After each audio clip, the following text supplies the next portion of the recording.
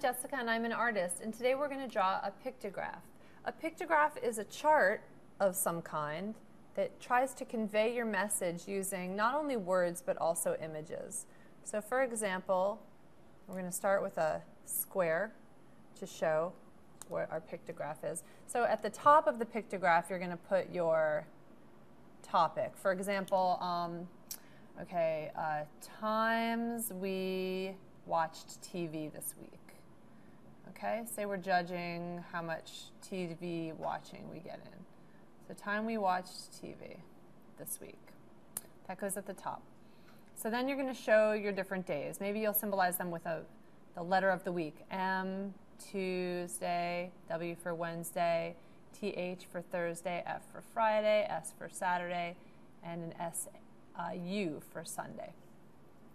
Okay, so then beside the day, every time you watch TV, draw a little picture of a television set next to it.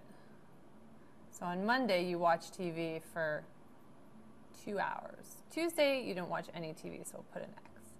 Wednesday, we watch TV for one hour.